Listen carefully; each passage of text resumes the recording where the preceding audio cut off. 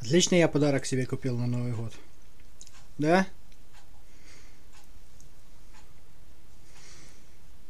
Ну хватит чесаться.